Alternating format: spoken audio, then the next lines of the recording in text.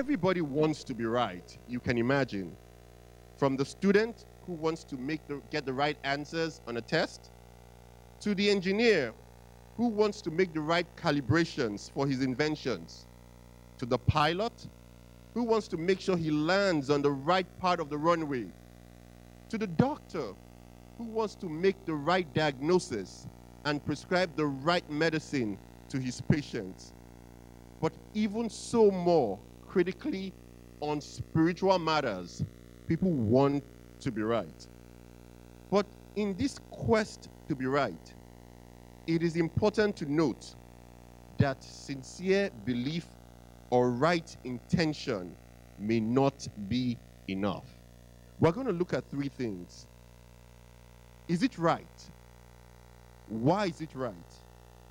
You are right, remain right. Is it right?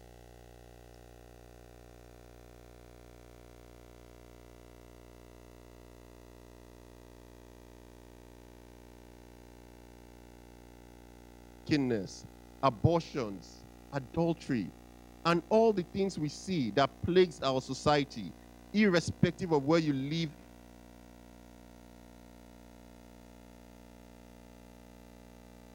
just a crisis for food and water, or even just a crisis of pandemic, which is there, but a crisis of character and moral integrity. But you are different because you've been converted either before now or some of you as recently as yesterday. You made a decision for Christ and you repented and you turned away and you decided to follow what was right. But as you continue in your journey, some questions may come up. Are my beliefs correct? Because you see that there were others who did not respond like you respond.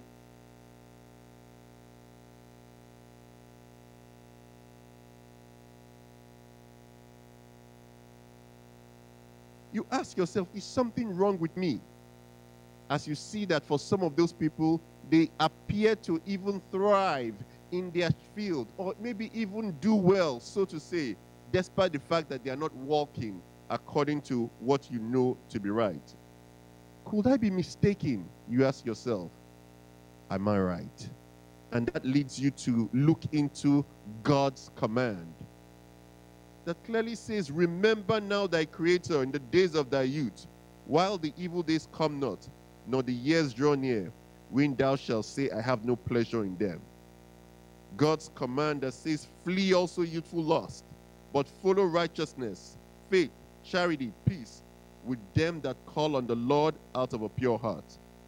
God's command that says, Let no man despise thy youth, but be thou an example of a believer in word, in conversation, in charity, in faith, in purity. And based on that, we arrive at the godly conclusion that heaven and earth may pass away. Things may change around me, but the word of God, not one jot or a tittle, will pass. And that we need to stand on that word. But you ask yourself, as you seek to fulfill and to follow the commands of God, why is it right? Why is this way the right way? To fully answer that question, we may need to take a step back and look into what or who determines what is right or wrong. In our society today, many things try to determine or define what is right or what is wrong. From the news media to celebrities to the Supreme Court to science to social media, to the masses, popular demand. For some, they decide everybody should have a say what's right or wrong. Um, there are a few who say nobody. It should be relative, depending on how you feel. And that's the world we find ourselves in. But the question is can it really depend on how we feel? the question of what is right or what is wrong? Is it really relative? When you try to examine that hypothesis or that thought, you find out that even by the world standard, it only attempts they only attempt to apply it in the area when it comes in the context of modesty and the spiritual context. They will not apply that same principle to science or to aviation, for instance. A pilot flying a plane, trying to land it, and telling his people, the people on the plane, that I see the runway there. Many may think that that's the right place to land, but I feel that the river is the right, right place to land. And because right or wrong is not absolute, I can choose to land in the river. Of course, you will agree with me that such a pilot will be quickly put away with and his theories will be quickly dispelled. Because in that instant, right or wrong cannot be relative because lives depend on it.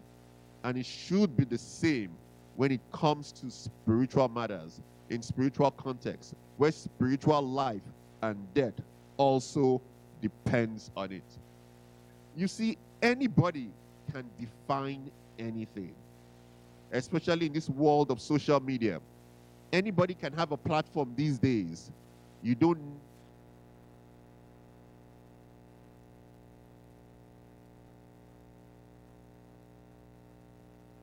of a thing. Maybe you see an appliance or an electronics or an invention you've never seen before and you really want to know how does this work? How should it work? How can you determine that? You will agree with me that one way would be to ask. But who do you ask? It makes sense to ask the owner. Who owns this? And if the owner cannot give you a satisfactory answer, then the next best thing, if you can, is to ask the maker. And fortunately for us, the owner and the maker of our souls has declared himself. He said in his word, Behold, all souls are mine, from the soul of the Father to the soul of the Son. And he also said that these people have I fought for myself, they shall show forth my praise. So, who determines what is right is not a what, but a who. And to now determine what does God say about what is right, we have to go back to the beginning, where the concept of right and wrong was first contradicted.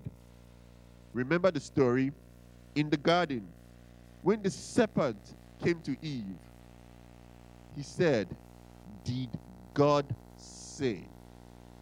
Because he knew that the, the, the, the credibility of the command had a lot to do with the credibility of the person making the command.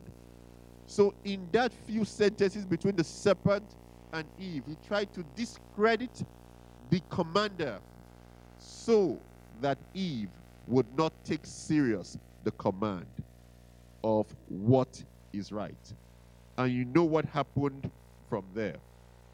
So, really, if we really want to know what is right, or who determines what is right or wrong, we have to go back to God and back to His law. Because God's laws reflect His holy character, we cannot isolate the commandments of God from His character. The Lord Jesus was the visible image of the unseen God.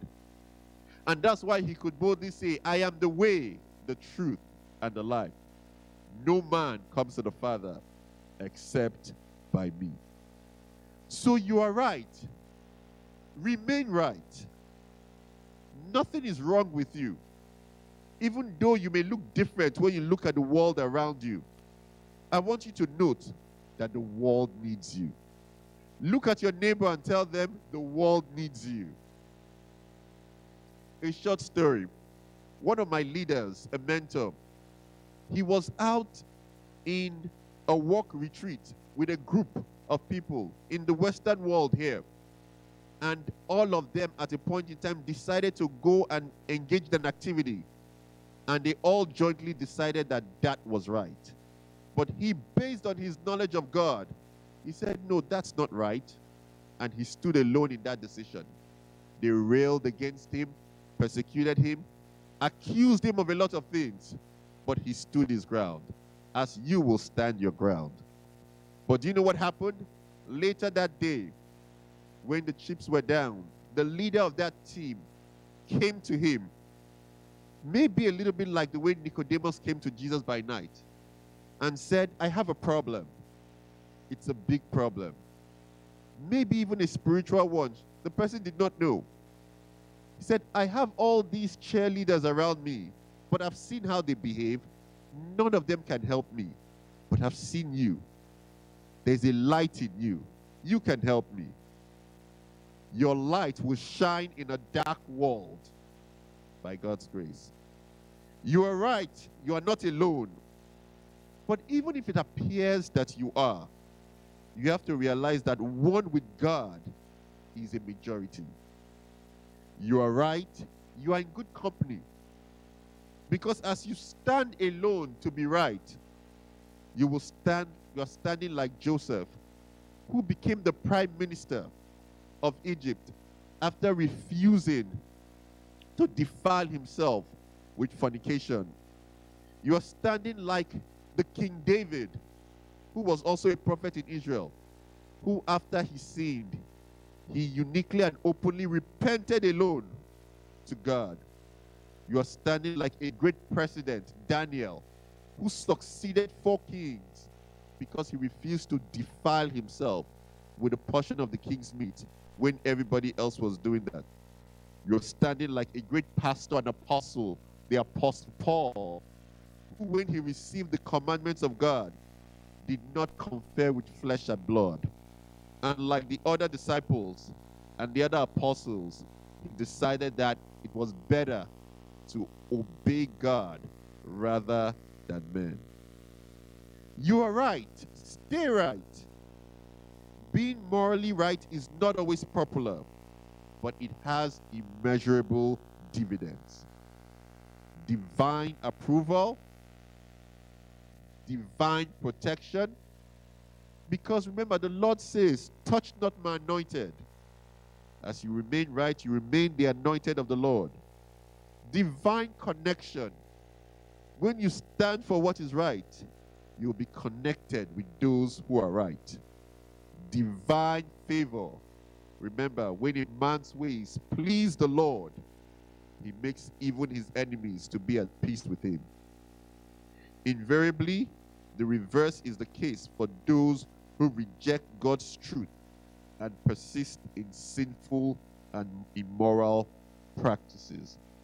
So, my closing challenge to you is how much are you worth? And to answer that question, you also have to go back to the author of your soul and to his word that says you are royalty.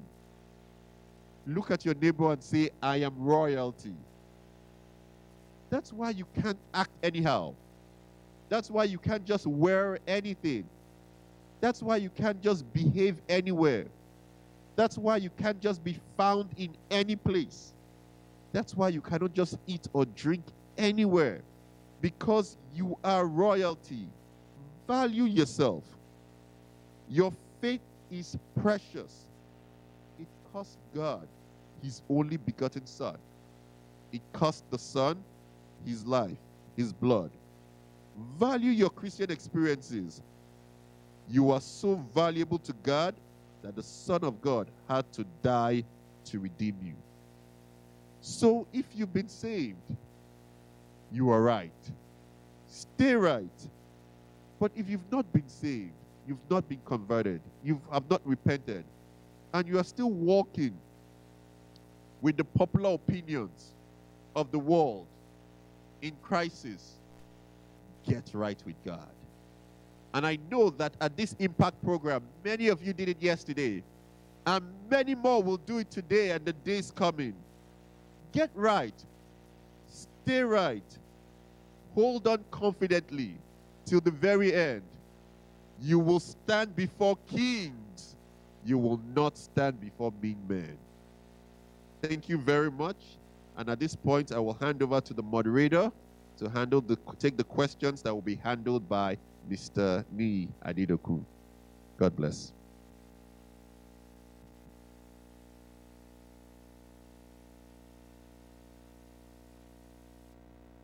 something very enlightening. I believe you've got something inspiring. Be inspired and stand in the right place. Amen. Now we're going to give time to questions. So if you have questions to ask here at this physical location, can you please just proceed to the front here and you'll be given opportunity to ask your questions. And as you ask your question, Mr. Niyi Adedokun is going to give answers to those questions. Come straight to the front here. Can I see you coming straight to the front? One, two, three. Can I see anybody? Now come straight to the front so that you can ask your question. I can see a lady first. Another young man. Another young man, quickly come. Go, go straight to your question. No preamble. Yes, the lady first. Straight to your question. It's God. Okay, I have a question. As he has presented on us being right and just getting to know that being right is all can only come from God. How do we present this to our parents when we are having conflicts of interest? Like when you are, you know, you are doing the right thing, but your parents don't believe that. They have a different view. How do you come? How do you present it to them so that we can both settle things and not be in conflict because of our different views? Thank you very much. That, that fellow in Holy Day Vest, Holy Day Life, yes, can you ask your question straight to the question? Yeah, good evening, everyone. Well, my question is that there are situations in which young people feel something is right, whereas in actual sense, it's actually wrong. And there are situations in which what they think is right is wrong. So my question is simply, how can we know the right kind of right? And how can we right our wrongs? That is why you are here. You will get it right and flow right in Jesus' name. Another lady, before I go back to that other man. The online audience, please get your question into the boxes and it will be attended to. Yes, that lady. My question is, how do you react when the people that are supposed to supposed to support you are not supporting you and they doubt every action that you take? It's okay when you are alone. Uh, that's our brother. Yes. The next brother with uh, nose mask. Praise the Lord. Sir, in uh, considering what is right and what is wrong, when it happens that I have gone far into doing what is wrong, and maybe I've become a manager using fake result and almost everything is fake, and I'm now getting it right by coming in contact with Jesus. How do you right the wrong? How do you right the wrong? Right? Yes, sir. How will I, how will I start afresh to That is why you are here in Impact. Amen. And you will have impactful answer. Amen. Eh, well, the rest of you, you can still stay there. If I have sufficient time, um, we are going to attend to those questions. Yes, Mr. Niyi Adedokun, can you respond to these four questionnaires? Well, for, for a comprehensive approach to it, can we have some online, two questions online?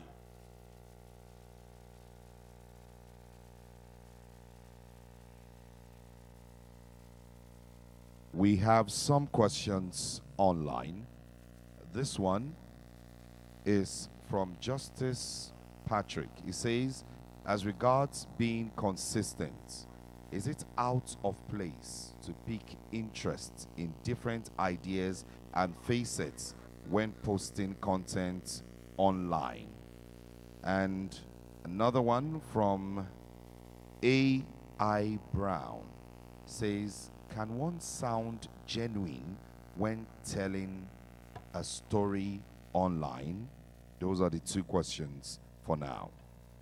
So, our guest lecturer, Mr. Adedokun, can you please provide answer to these six questions?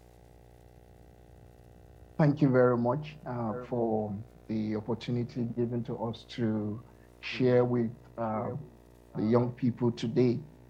Um, the first question that I was able to hear from the audio was on relationship with uh, your parents, especially if it appears as though uh, you are right and uh, your parents are wrong.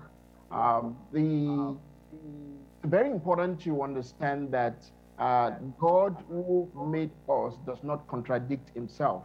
Uh, he tells us to honor our father and our mother, our parents, so that our days may be long.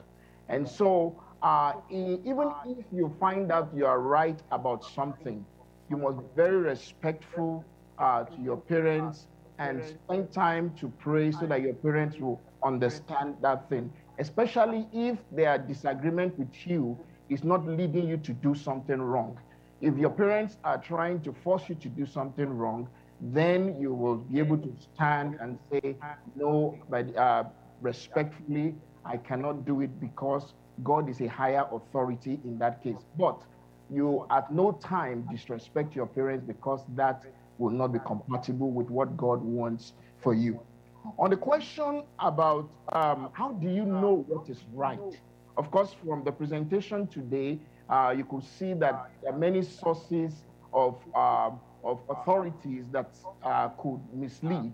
And we saw a list of, of those authorities. Uh, cannot depend on media celebrities. You cannot de depend on just science. You can't depend on even revered institutions to, to determine right. So you go to the source of all right and wrong. You go to God. And how do you go to God? God has given you the Bible, His word, His inerrant word, the supernatural word of God that will tell you what is right.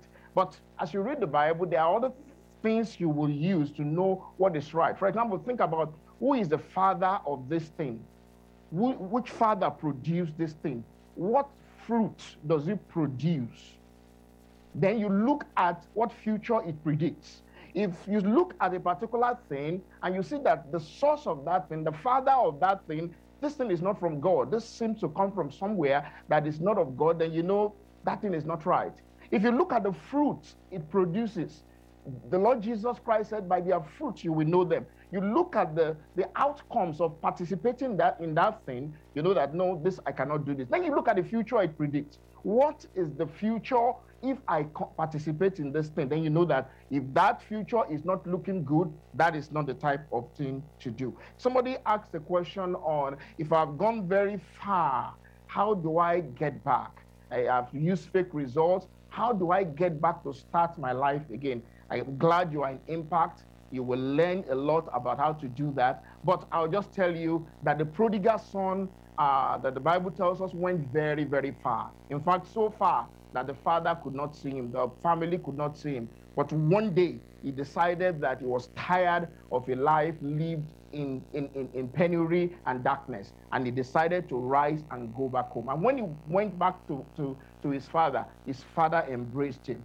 That's the way God will embrace you. And then will start repairing uh, your life from them. But it needs your sincerity. It needs that genuine heart of repentance. And then God can begin to uh, rebuild your life from, from, from the broken pieces. Uh, somebody asked a question um, about posting content online. Uh, yesterday in the presentation about, about branding, uh, we learned some principles of how to be careful in what you put online so that um, the content you put out there does not in any way negatively affect you because you must understand that anything you send online almost has a digital, a digital, in quote, eternal life because it stays there and people will, can access it at any time. So you must be very careful when you are posting content online to, to, make sure that the things you're posting are, are things that are edifying. And the, uh, the, the, the Bible is just a wonderful guide telling us that whatsoever you are posting, let it fit the principles. Is it true? Is it honest? Is it of good report? You know, is it lovely?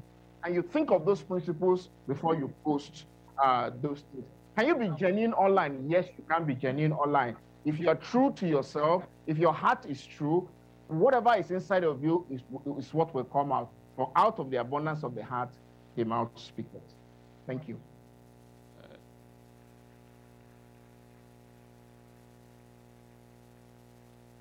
Yes. Let me have just one person more. Yes, just one. That my brother. Can you ask your question? And another one online. Just straight to the question. Good evening, sir. My sir, my question is just when you are used on what to do and you ask your parents to help you and they are always saying that they are coming they are coming that they, they do not have time so what sh- should we do about that sir that's my question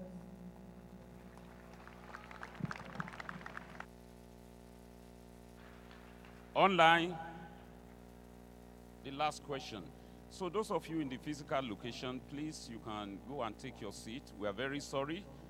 We don't have the generosity of time to take more questions. Online, Just one question. This one says, is from Owerri. He says, when you are wrong and people say you are right, how will you know right inside of you that you are right? Especially when people are saying you are wrong.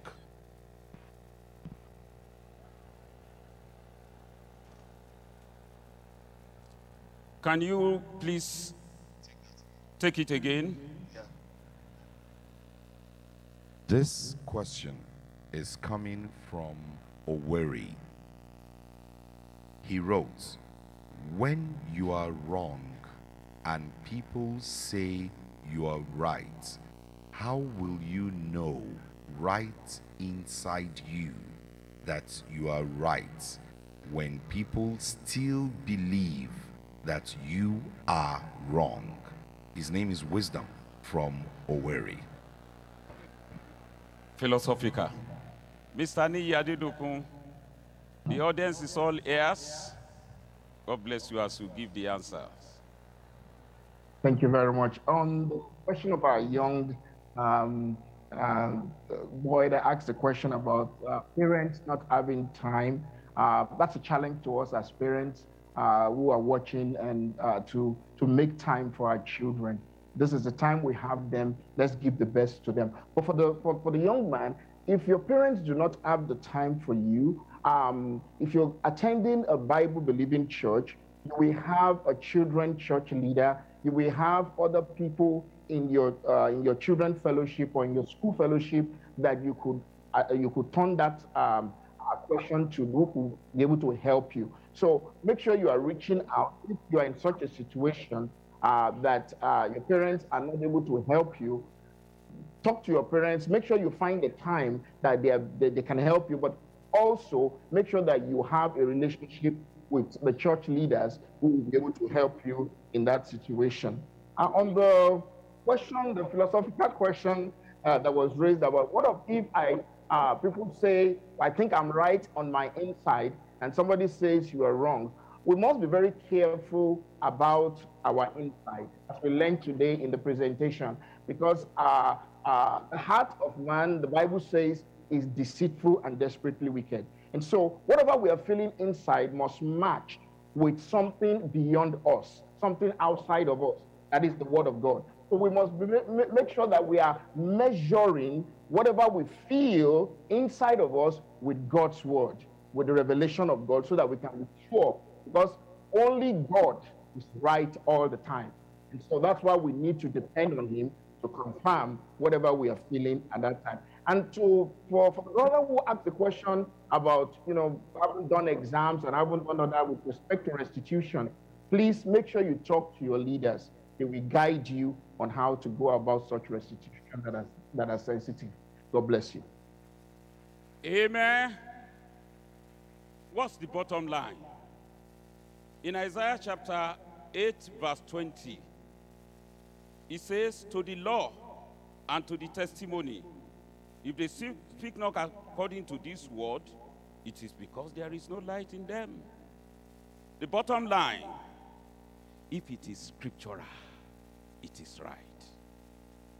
And internalizing it, you have to make a decision. I will be scripturally compliant. Can you say that?